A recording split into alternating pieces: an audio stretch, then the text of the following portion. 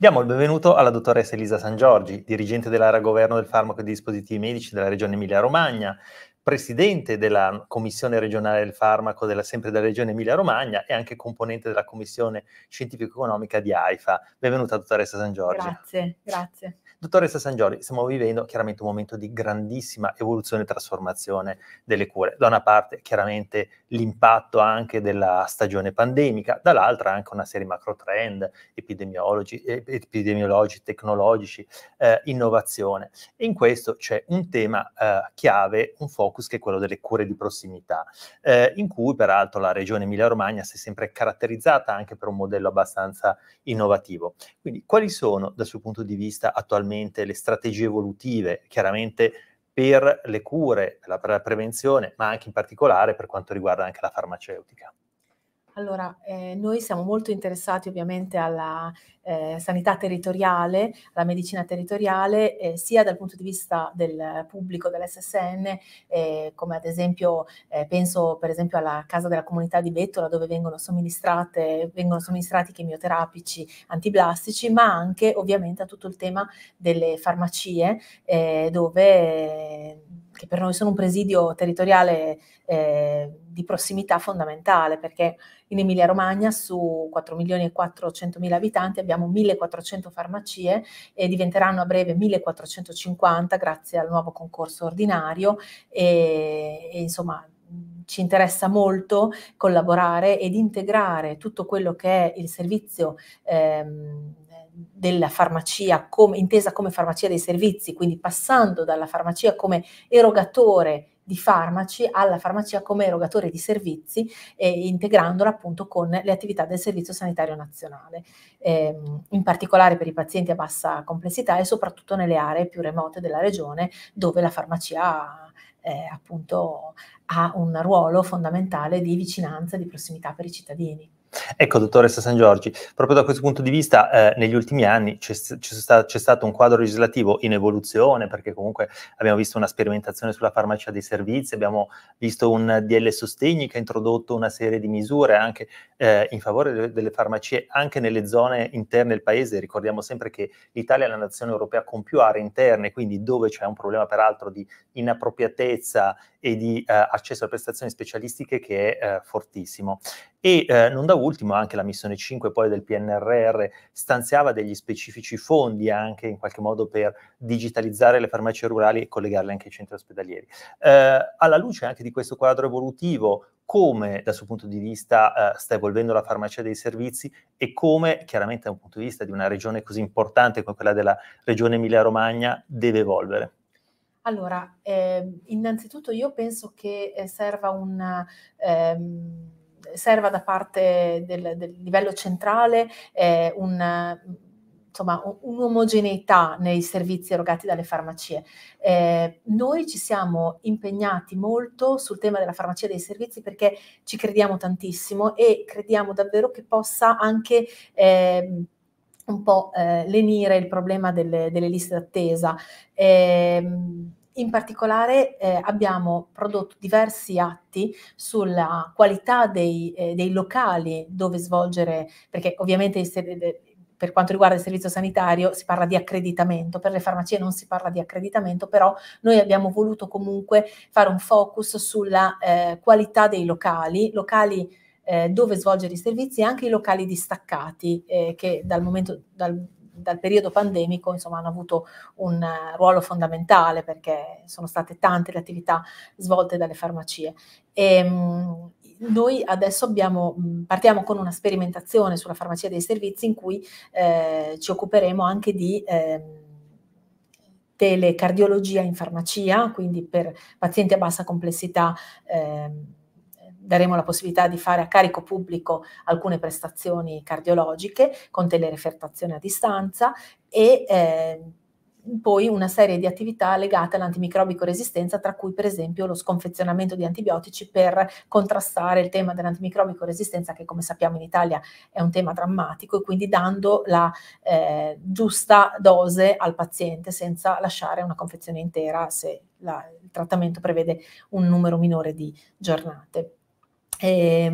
per quanto riguarda in generale eh, i servizi, abbiamo anche fatto un'analisi eh, proprio sulla, mh, sul tema della cardiologia per vedere quante farmacie fossero già in grado di erogare eh, con degli elettrocardiografi di qualità, quante delle farmacie fossero già in grado di erogare questa eh, prestazione, questa tipologia di prestazione. E ci siamo resi conto che quasi la metà delle farmacie dell'Emilia Romagna è già in grado di erogare questo tipo di prestazione e lo fa già privatamente. Quindi per noi questo è un grande valore aggiunto raggiunto, soprattutto nelle aree remote. E un'altra insomma,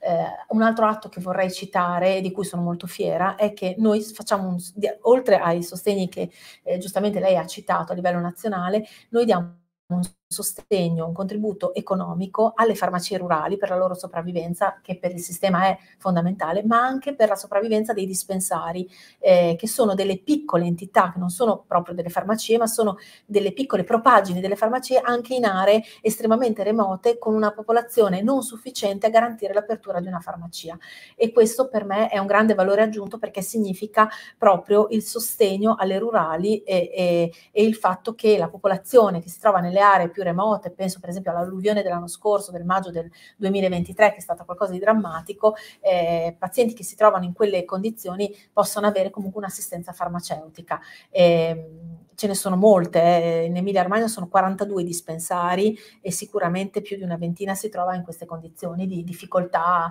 eh, insomma, di, di, sopravvivenza dal punto di vista proprio gestionale ed economico. E quindi questa è una manovra che è stata fatta, è stata fortemente voluta e anche quella appunto del, del nuovo concorso per aprire nuove sedi. Quindi noi sulla farmacia, insomma sul ruolo della farmacia eh, vogliamo lavorare, continuare a lavorare in stretta collaborazione con i servizi farmaceutici delle aziende sanitarie, ma anche le associazioni di categoria che ovviamente svolgono un ruolo importante. E tutto ciò in, integra- in forte integrazione con la sanità territoriale, il servizio di assistenza territoriale della regione, le case della comunità e anche gli ospedali però non dimentichiamo che ci sono delle zone che sono lontanissime dagli ospedali e che e per, e per queste zone insomma, la presenza della farmacia è fondamentale. Certo, e molto spesso anche un dispensario eh, alla fine è anche una eh, soluzione eh, non solo eh, positiva per il cittadino che ha anche un accesso al servizio farmaceutico di prossimità, ma anche eh, sostenibile economicamente per un servizio sanitario regionale, perché altrimenti chiaramente sarebbe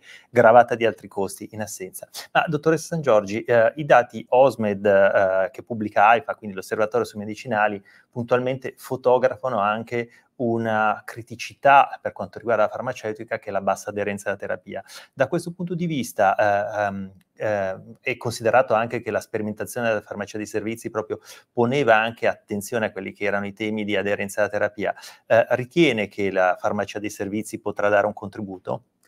Io penso che il farmacista eh, territoriale di comunità eh, debba avere assolutamente una privilegiare il proprio ruolo clinico di counselor al paziente e assolutamente eh, può fare molto in, per quanto riguarda l'aderenza, soprattutto in, nel caso della farmacia fiduciaria, perché se il paziente si rivolge sempre alla stessa farmacia, eh, chiaramente il, il, farmacista ha la possibilità di valutare quante confezioni sono state erogate e poi c'è sempre il bias tra l'erogazione e la reale somministrazione. Non è detto che se il paziente ha in casa il farmaco poi in realtà l'abbia assunto, però eh, certamente è la migliore diciamo, approssimazione possibile. Eh, il, la regione Emilia Romagna ha inteso eh, svolgere eh, il tema della, sviluppare il tema dell'aderenza in farmacia sulla broncopneumopatia cronico ostruttiva, in cui è prevista una intervista, già questo eh, già dal 2019 era previsto, poi purtroppo c'è stato il Covid e non era possibile fare, eh, insegnare al paziente eh, come utilizzare i dispositivi per la BPCO, perché ovviamente eravamo tutti eh, impossibilitati a fare questo lavoro, però eh, l'ipotesi è quella di eh, fare una, una, sorta di intervista al paziente in cui si chiede appunto quando e come assume il farmaco, se è in grado di assumerlo. Eh, soprattutto immaginate la difficoltà per gli inalatori che hanno già una scarsa eh, adesione alle terapie, ma anche, c'è anche una, una quota di, eh, insomma, di, di, farmaco che arriva a livello alveolare che è molto bassa, quindi è molto importante il tema dell'aderenza nella BPCO. E, ehm, e quindi ehm, si chiede appunto al paziente se assume correttamente il farmaco e se lo assume con aderenza e persistenza e eh, successivamente si chiede se ha avuto reazioni avverse e anche si fa la ricognizione farmacologica come dalla raccomandazione ministeriale numero 17, quindi si chiede quali siano le terapie concomitanti e poi eh, avendo appunto si, si, prevede anche una seconda intervista in cui si vede a distanza di mesi se eh, ci sono state delle modifiche o se c'è necessità di contattare il clinico per eh, modifiche terapeutiche. Quindi sull'aderenza siamo partiti proprio sul farmaco, su, sulla tipologia di farmaci che aveva una più bassa aderenza. Ehm, e, e, e, appunto è, rientra nella nostra sperimentazione della farmacia dei servizi e anche questo secondo me è un ruolo che può esercitare molto bene il farmacista territoriale, anche dando appunto consigli su, appunto, sull'utilizzo, su, su, sul corretto eh, utilizzo del, del device, eh, proprio per la difficoltà della, della metodologia, insomma. Dottoressa Giorgi, prima ci citava appunto anche l'importanza di questa visione evolutiva della farmacia dei servizi in stretta sinergia con la casa di comunità e chiaramente con la rete ospedaliera. Da questo punto di vista, come eh, anche alla luce delle risorse del PNRR si stanno riconfigurando eh, i modelli di presa in carico e di gestione dei pazienti eh, in Emilia-Romagna? Allora, eh, c'è un lavoro congiunto tra i diversi settori, eh, il settore dell'assistenza ospedaliera e il settore della, dell'assistenza territoriale. Eh, sicuramente avrete sentito parlare dei CAU, eh, che insomma che sono un, una grande innovazione, non riguarda le farmacie, le farmacie hanno il ruolo giusto di indirizzare i pazienti eh, nel, nel, caso appunto di necessità di un triage, eh, se al CAU o al, al nella, nella, rete ospedaliera, però eh, queste sono strutture che dovrebbero togliere il peso dei codici bianchi e verdi nei, nei PS, quindi sicuramente questa è una grandissima innovazione. Ce ne sono tante altre, eh, bisogna... Ehm, adesso eh, appunto stiamo strutturando dei percorsi nuovi proprio per eh, vedere la sanità del futuro che sia quanto più snella possibile, eh, con dei percorsi anche informatizzati, il più possibile informatizzati e, ehm, e a disposizione insomma che, che, che, tolgano un po' di peso ai pazienti, eh, peso burocratico. Ehm, volevo aggiungere una, un, un altro atto che abbiamo fatto che riguarda sempre il tema delle farmacie e lo snellimento dei percorsi, che riguarda, ed è stato fatto anche da altre regioni, riguarda i pazienti stomizzati. Eh, I pazienti stomizzati sono pazienti eh, che mh, necessitano di assistenza integrativa e per quanto riguarda l'Emilia Romagna noi abbiamo da breve emanato un atto, una delibera, proprio per eh, permettere a questi pazienti di avere una... Eh, sapete, il paziente stomizzato va dal chirurgo, poi va dallo stomaterapista, poi va al distretto, si fa validare i buoni, poi va in farmacia, prenota eh, le, i dispositivi e poi li riprende dopo tre giorni. Quindi sono tantissimi passaggi. Noi abbiamo cercato di rendere la vita ai pazienti molto più semplice con eh, ovviamente in caso solo di necessità di valutazione burocratica, non clinica, perché la valutazione clinica deve essere sempre possibile, però insomma di snellire il percorso per i pazienti con la stomia e in accordo anche con l'associazione dei pazienti eh, stomizzati incontinenti, quindi eh, sono molto fiera di, questa, di questo atto perché eh, proprio per favorire appunto i pazienti che si recano in farmacia a prendere dispositivi medici in assistenza integrativa e possono farlo in maniera più rapida e più informatizzata con una eh, validazione che vale tre anni e non più una, come sperimentazione ovviamente. Bellissimo. Dottore San Giorgio, è evidente che c'è tantissimo da fare per rendere le cure più efficaci, per rendere anche la, migliorare la qualità anche di vita del paziente. E in questo chiaramente non è semplice e facile trovare la direttrice giusta, eh, anche con chiaramente i vincoli della sostenibilità che, che sono posti e eh, a livello europeo recentemente è anche stato ehm, sviluppato un nuovo regolamento che riguarda l'HTA. Eh, quale ruolo secondo lei avrà l'HTA in futuro prossimo a livello nazionale come regionale? Anche nel ridisegno di questi percorsi cura? Allora, la valutazione eh, HTA eh, di, di, farmaci e dispositivi, quindi in generale delle tecnologie in senso lato, è fondamentale perché eh, non si parla più soltanto di valutazione di efficacia e sicurezza o di studi di fase 3, ma prevede la valutazione in senso lato di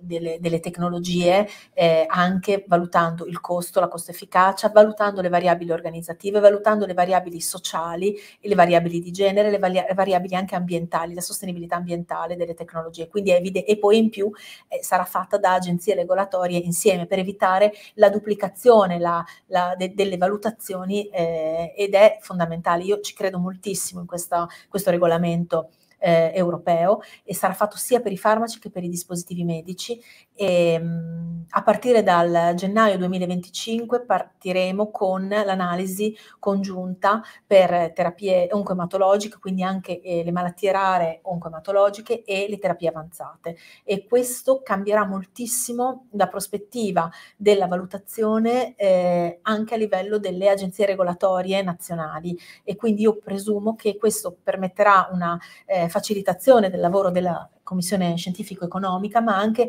una grande capacità della, di, di, miglioramento della, della, dell'approccio terapeutico all'innovazione a livello regionale, perché questo significa che eh, il clinico dovrà necessariamente, per chiedere una, una eh, una nuova tecnologia dovrà farsi carico della valutazione e quindi dovrà essere un, eh, un cosiddetto utilizzatore del, dei, dei, rapporti HTA ehm, che, che, ha, abbia avuto, appunto, che, abbia avuto, una valutazione eh, positiva in termini di innovazione come HTA e quindi ehm, l'utilizzo di reali eh, tecnologie innovative nella pratica clinica, quindi con delle ripercussioni, io spero, anche dal punto di vista della sostenibilità economica eh, positive, ripercussioni positive, nonché ovviamente dell'efficacia clinica. Eh, quindi per me è, è, una grandissima innovazione, spero che davvero porti eh, un beneficio assoluto nella, eh, insomma, nel, nel, per noi valutatori anche per noi payers, perché le regioni, come sapete, sono i,